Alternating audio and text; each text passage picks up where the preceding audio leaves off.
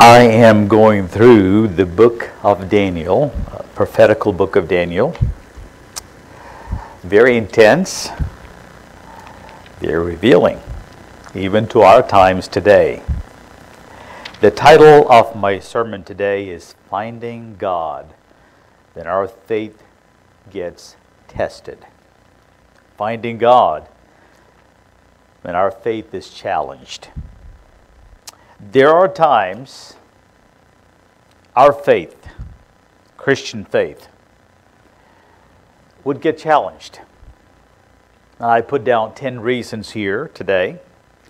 When you receive uh, not so good news from the doctor, your faith is challenged. Get tested. When your spouse comes to you, um, I'm counseling a few couples these days and then tells you that I'm not happy in marriage, leaving, and your faith gets tested. When the stock market is down, I know so many folks have lost their money, and we pastors have little retirements at Baptist Convention. We were told that we lost about 25% in three months, gone. And our faith gets tested. When you get a letter from your bank saying that your bank balance is low, your faith gets tested. And when your children are out in the world without the fear of God, wandering away, your faith gets tested. Even when your parents don't listen to God. I've counseled some children who had concerns about their parents. Your faith gets tested. When you're incarcerated, whether for right reasons or wrong reasons, emotionally or physically, your faith gets tested. When you hear that your business is going belly up, your faith gets tested. When you hear there are malicious folks, even claiming to be Christians, trying to destroy you, your faith gets tested.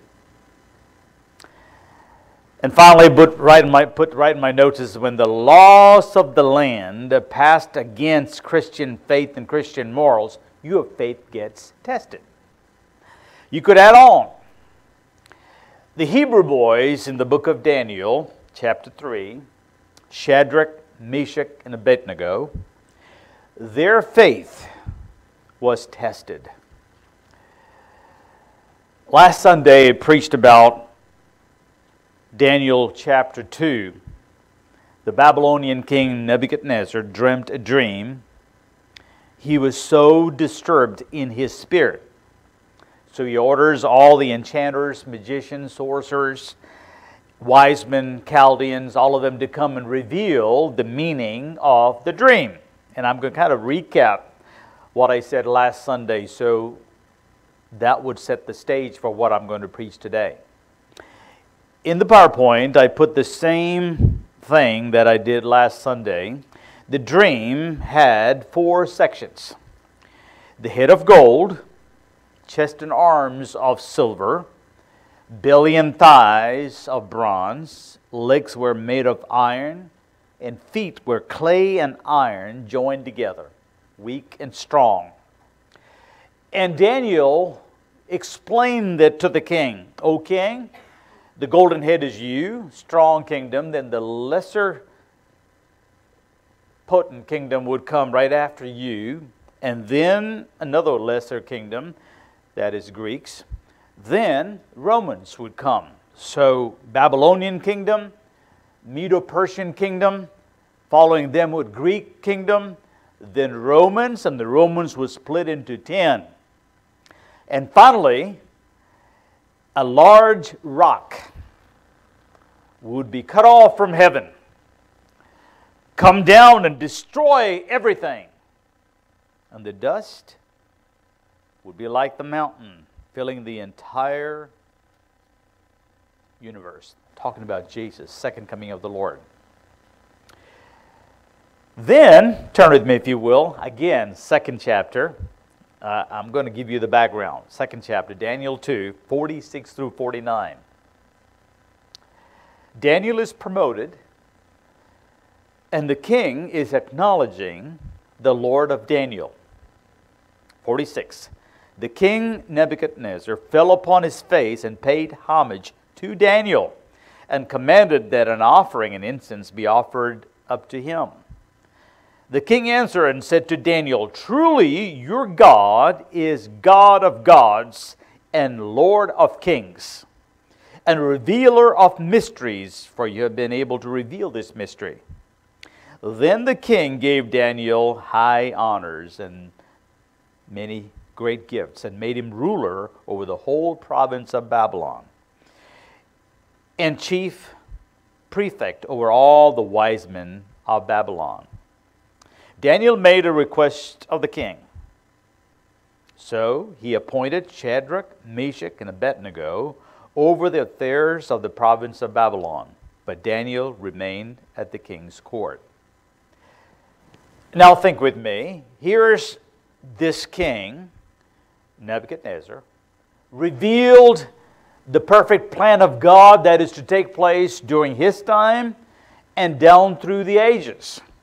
He acknowledges to Daniel, paid homage to Daniel, your God is the greatest of all. So I'm going to make you ruler. Prefect means it's like a judge over others, like the Supreme Court judge. And I'm going to make, upon Daniel's request, all your friends, Shadrach, Meshach, and Abednego, also leaders. Now, after he made the statement, now come to chapter 3, see what happens. King Nebuchadnezzar, chapter 3, verse 1 through 7. I'm going to be reading um, from chapter 7 from now on, part by part, explained it to you. Starting from verse 1 King Nebuchadnezzar made an image of gold whose height was 60 cubits and its breadth 6 cubits.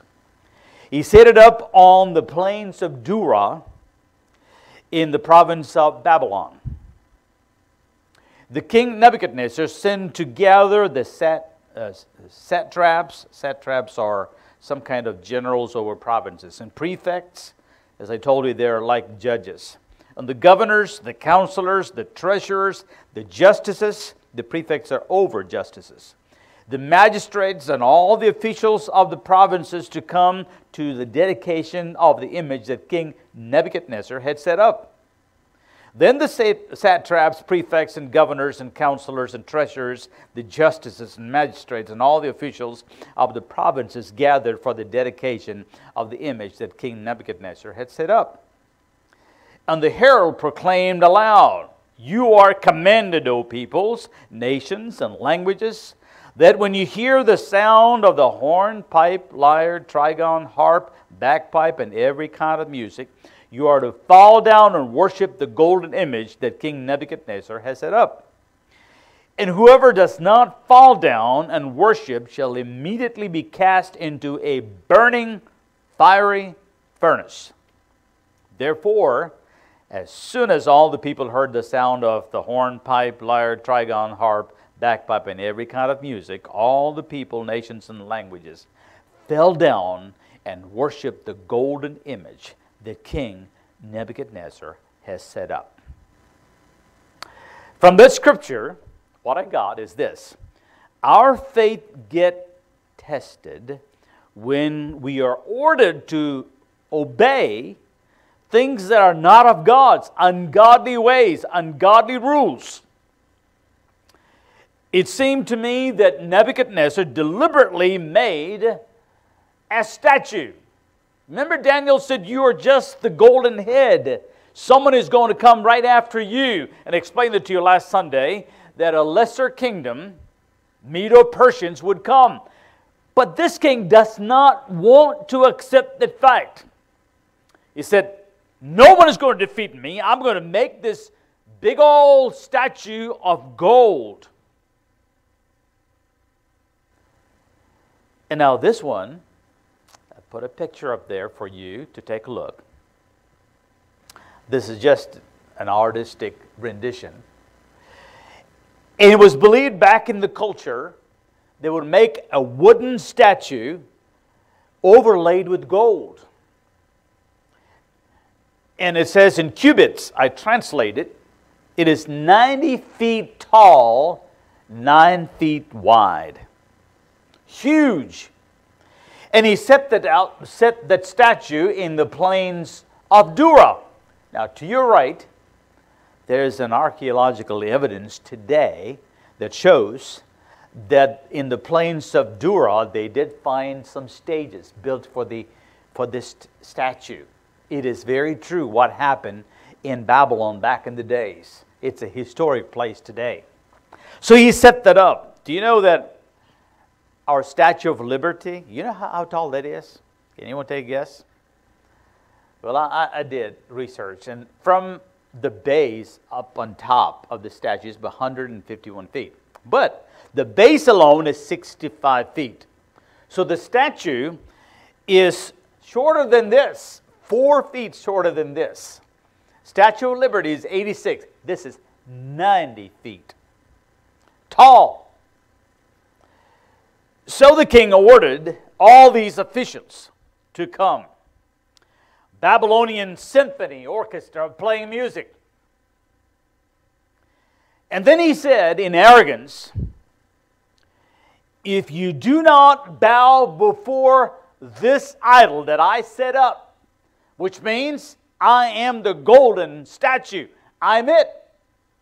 If you don't bow before, I will destroy you. There is a fiery furnace set up for you. I will throw anybody who would say no to that. Arrogant statement. Now, what does it do with our life today?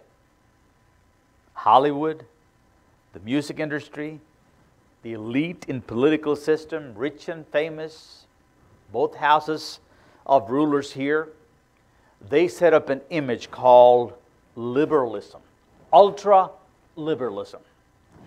And it seemed to me if you don't bow your heads, we will destroy you.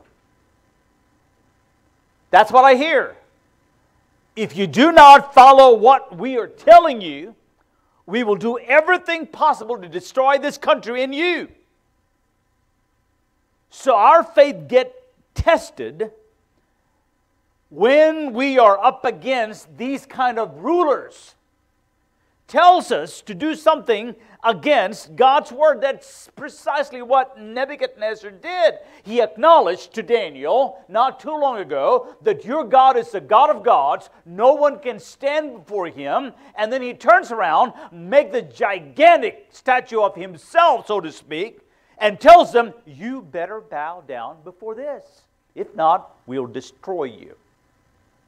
That's why we hear today. You better listen to us. You better listen to our liberal agenda. You better listen to our Greenpeace deal. You better listen to everything. I don't care whether you pay $5, $6, or $10 a gallon. We don't care. We will destroy you. They may not say it, but that's what we see right? We are being destroyed every day. Babies are destroyed in the name of abortion. They talked about that on Mother's Day. So our faith gets tested when we are ordered to obey things that are not godly. This king did that. Secondly, our faith gets tested when malicious people try to slander and destroy you. Let me read. Continue. Daniel 3 8 through 15. Therefore, at that time, certain Chaldeans came forward and maliciously accused the Jews. They declared to King Nebuchadnezzar, O king, live forever. You, O king, have made a decree that every man who hears the sound of the horn, pipe, lyre, trigon, harp, and bagpipe, and every kind of music, shall fall down and worship the golden image. And whoever does not fall down and worship shall be cast into burning fiery furnace. There are certain Jews whom you have appointed over the affairs of the province of Babylon Shadrach, Meshach, and Abednego. These men, O king, pay absolutely no attention to you. They do not serve your gods or worship the golden image that you have set up. Then Nebuchadnezzar is so furious he commanded Shadrach, Meshach, and Abednego be brought. So they brought these men before the king. Nebuchadnezzar answered and said to them, Is it true, O Shadrach, Meshach, and Abednego, that you do not serve my gods or worship the golden image that I have set up? Now, if you're ready, I'll give you another chance. When you hear the sound of the horn, pipe, lyre, trigon, harp, backpipe, backpipe and every kind of music, fall down and worship the image that I have made. Then it's well and good. I'm not going to do anything. But if you do not worship, you shall immediately be cast into a burning furnace. And then he made a statement And who is the God who will deliver you out of my hands? This Chaldeans had an obvious political agenda here. Because these guys, Shadrach, Meshach, and Abednego, three of them, have been promoted to a higher position. And now, these guys were looking out. Now, think with me. No one really made note of those guys not being present there. Nobody, except these guys. So they made note because they're so malicious they were looking out what is going to happen to these guys? Where are they? We want to destroy them. So they were so malicious, so the Bible says, and they were gossiping or slandering these guys before the king. Oh, king, look at him, look at them.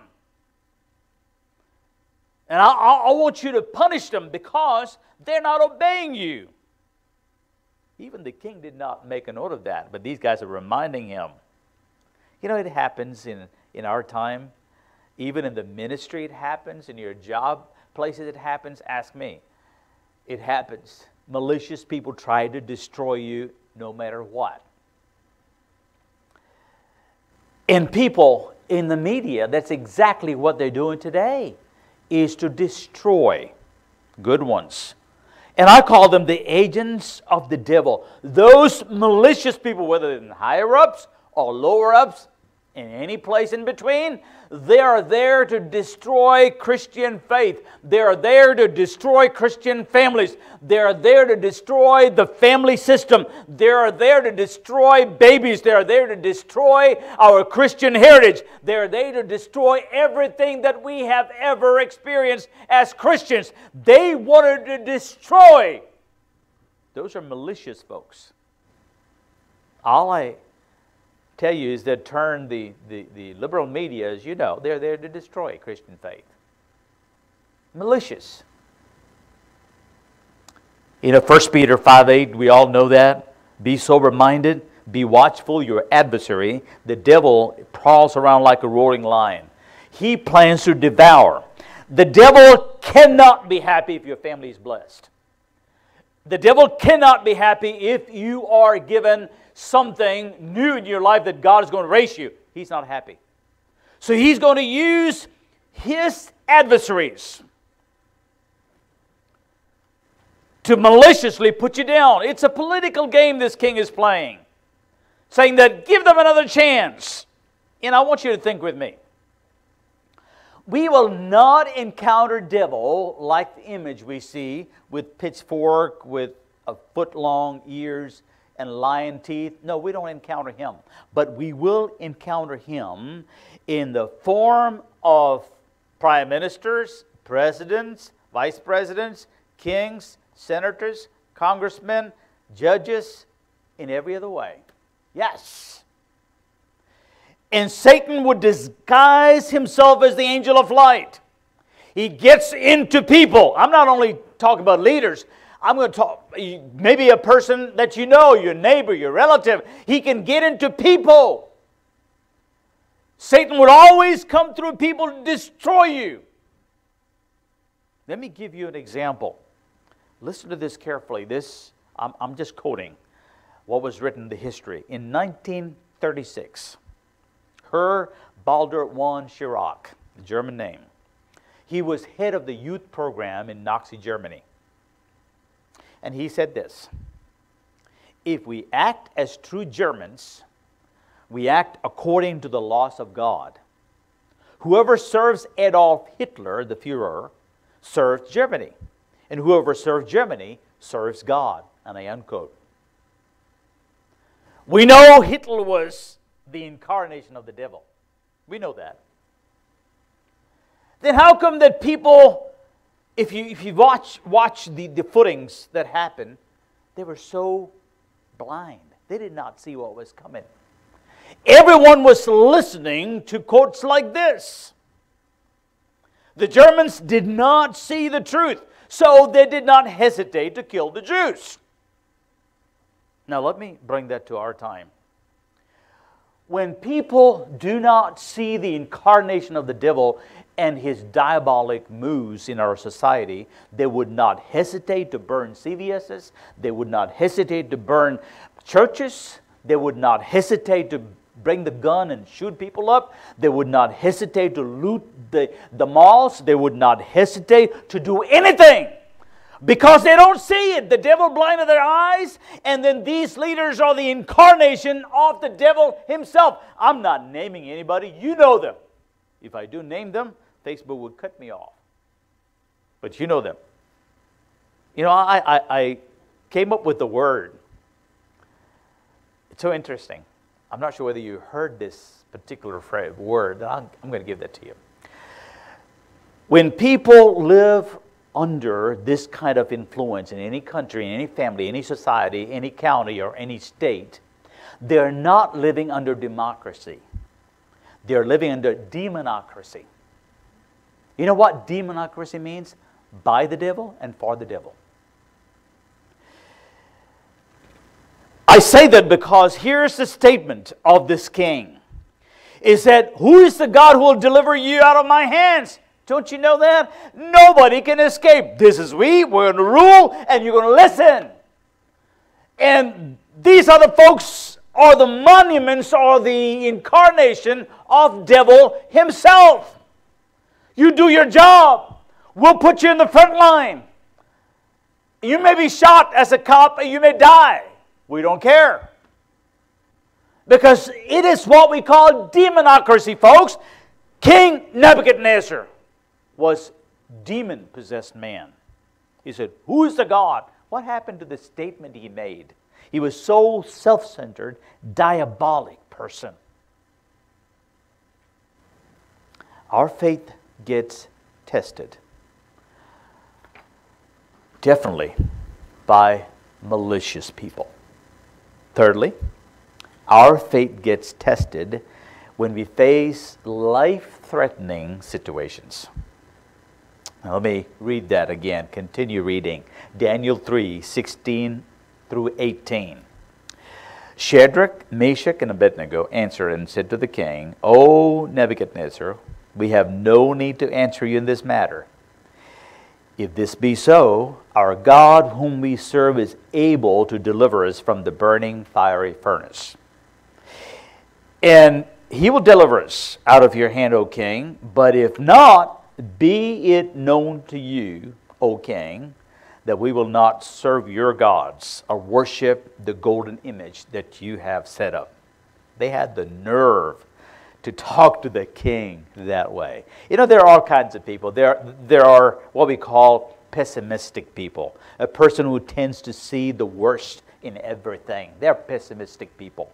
And there are optimistic people, the person who tends to be hopeful and confident about the future. And they are, there are people whom we call realist. There are those who accept the situation as it is and prepare to deal with it accordingly. And there are futurists, a person who studies the future and makes predictions based on the current events. They're futurists. They're pragmatists. We all know they're a person who, who's guided by, by making conclusions based on practical issues. They're futurists. And, uh, pragmatists, I should say. And then there are fatalists. What they would say, they believe that things are inevitable. You have no choice. You could pro- protest, you could go to the polling, nothing will ever going to change. They're fatalist. But here's the word I coined that. Listeners, listen to me. Use this. This may find the place in the dictionary sometime. I hope so. I gave a title because of these guys. They're faithists. Not fatalists, not pragmatists, not futurists, not realists, not optimists, not pessimists. They are faithists. Why I coined that word faithist? Because of the statement that said, imagine the enormous pressure on these guys, Shadrach, Meshach, and Abednego, to compromise. The compatriots, the competitors, and all the, the officials, the king, everyone watching what these guys are going to say. Under enormous pressure to compromise. Now, I put a few reasons. They could have thought about a few things. They said, nothing we're going to gain by saying no to the king. We might die. So, why not? Or we are in a different place. We're not in Jerusalem, we are in Babylon. If you're in Rome, be like a Roman. If you're in Babylon, be like a Babylonians. There's nothing wrong. Let's compromise. Oh, if you say no to the king, we will lose our job, our standard of living. You know, we just been promoted to rule the provinces. We won't have that. We'll be stripped off of that. There's a reason to compromise. They probably must have thought, after all, we're, we're not called to renounce our God. The king is not telling you, your God Jehovah, renounce him. So what? I can just bow my head for just 10 minutes for the king. It's not going to really affect. I can even bow my head and then maybe pray to my God. Right? They had all these. And then another excuse everybody else is doing, the entire country is doing. Why not I? We do. We're just odd number here. It's only once, so God will forgive.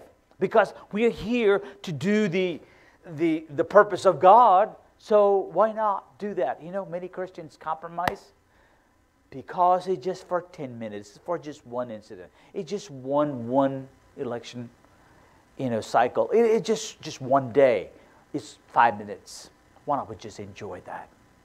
What they do, they try to compromise. And these guys, they had all these reasons. I just put those reasons because I thought if I were in their shoes, I would think about all that. Come on now, nothing is going to happen. I've just been promoted, right?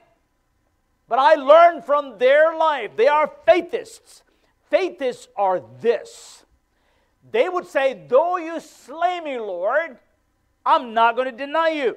They did not doubt God's ability to deliver them from the fiery furnace. At the same time, they do not presume on God's will. They said, whatever is God's will, we will give. We don't care. It means, just like Job, though he slay me, I will not deny. I will trust you. I have my own desires, dreams, may not come to fruition, and yet I am going to trust you. They're called faithists. Now let's read. See what happens. Daniel 3 19 through 25. Then Nebuchadnezzar was filled with fury, and the expression of his face was changed against Shadrach, Meshach, and Abednego. He ordered the furnace heated seven times more than it was, than it was usually heated. And he ordered some of the mighty men of his army to bind Shadrach, Meshach, and Abednego, and to cast them into the burning fiery furnace. Then these men were bound in their cloaks, their tunics, their hats, and their garments, and they were thrown into the fiery furnace. Stupid idea, ain't it? I mean, they're going to throw in the fire. Why bind them? Have you ever thought of that? I mean, their clothes and everything. Apparently, this king said, well, that, those guys can probably run around, may run out. Seven times heated up. How in the world are they going to run? But he was so diabolic, he wants to tie them up. Now, let me make a, a comparison today. Even though you want to do something for God, in the face of adversity, the devil wants to tie you up, tie your hands, and tie everything else. See what happens. Now, let me continue. Verse 22. Because the king's rulers was urgent and the furnace overheated, The flame of the fire killed those men, men who took Shadrach, Meshach, and Abednego. Can you believe? Even the flames killed the mighty men, and yet he ordered them to be bound. And these three men, Shadrach, Meshach, and Abednego, fell bound in the burning fiery furnace. Then King Nebuchadnezzar was astonished, rose up in haste. He declared to his counselor, Did we not cast three men bound in the fire? The answer and said to the king, True, O king. He answered and said, But I see four men unbound, walking in the midst of the fire, and they're not hurt. And the appearance of the fourth is like a son of the gods. Now, there, there's an artist rendition. I will put it up there. Fourth man in the fire. We know that is pre incarnated Christ walking with them. And I put right in my notes there are furnaces in our lives. There are three kinds of furnaces that we face. The first one, what I call the furnace that man prepares. People dig holes to you. They maliciously point fingers at you. They would stop your promotions. They would stop anything that God is going to do in your life. They would stop at no expense to, to really put you down. That's men made furnaces. Secondly, there are furnaces that Satan prepares for you. Satan in the form of the rulers, in the form of anybody, even in the form of sickness. As you well know, sometimes Satan would send some terrible things upon God's people. His job is to destroy. We know in the Old Testament, Job, he suffered physically, economically, relationally. He lost everything. Satan did that. Some of us could be in that kind of a furnace. The last one might even surprise you. There are furnaces that God prepares. Now, why would God put us through a furnace? It's called the test. Now, the beautiful thing about that is this. Remember Abraham? He had that furnace. Abraham was told by God to take his own and only son Isaac to go to Mount Moriah to kill him. That was the furnace. Can you imagine a father waited all his life, 100 years? Suddenly he got a little boy, and God asked him, Go and sacrifice him. But the beautiful thing about God's furnace is that God would never let you go through the furnace. He would stop you before you get into that heat. He wants to test you. But all the other furnaces, by men or the devil, he will be there. And let me, let me kind of ask you a question. Probably you never thought of that. I don't read that in the scripture. Perhaps you have read. If you, let me know. I don't read that Shadrach, Meshach, and Abednego have recognized the fourth man in the fire. I don't read that. It was the king who recognized. They probably didn't even know that Jesus was with them. The only thing they made a commitment is that even if the Lord is not going to deliver, we will not deny. Guess what? Jesus did. I'm going to jump in with you, buddies. You may not even see God when you're going through this furnace, but He's always there for you. That's a beautiful thing about God. He's there. I don't read these guys even saw Jesus. The only thing they knew is they were unbound and they were not burned. They were just walking like they were walking on the beach cool breeze, walking around in the furnace. The king walked there and said, My goodness, bring him out. Shadrach, Meshach, and Abednego, come on out. Let me read, continue. The last verses of this chapter. Daniel 3 26 to 30. Then Nebuchadnezzar came near to the door of the burning fiery furnace. He declared, Shadrach, Meshach, and Abednego, servants of the Most High God. Can you believe he changed the tune now? Come out and come here. Then Shadrach, Meshach, and Abednego came out from the fire. And the satraps, the prefects, the governors, and the king's counselors gathered together and saw that the fire had not had any power over their bodies of those men. The hair of the heads was not side, singed, I should say. Their cloaks were not harmed, and no smell of fire had come upon them. Nebuchadnezzar answered and said, Blessed be the God of Shadrach, Meshach, and Abednego, who has sent his angels and delivered his servants, who trusted him and set aside the king's command and yielded up their bodies rather than serve and worship any God except their own God. Amazing statement. Just think about that. Keep that in your back of your brain because this guy is making all kinds of statements. And finally, what happened to him as we go through the book of Daniel. Therefore, I make a decree, King said any people, nation, or language that respects anything against God of Shadrach, Meshach, Abednego shall torn limb for limb, and their houses laid in ruins. For there is no other God who is able to rescue in this way. Then the king promoted Shadrach, Meshach, and Abednego in the province of Babylon. Now, what happened to the statue? I guess they melted that gold and took it, and everybody dispersed. Now, something happened. Miracle. We probably heard the story. The king commanded them to come out. Everyone sees that even their hair was not burnt. Second time, King Nebuchadnezzar acknowledged the king, the king of kings, the lord of lords. Make note of that.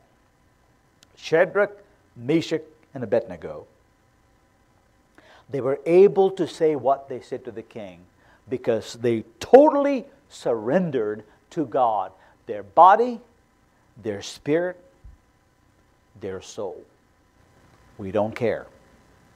That's why the book of Romans we read present your bodies as a living sacrifice every day.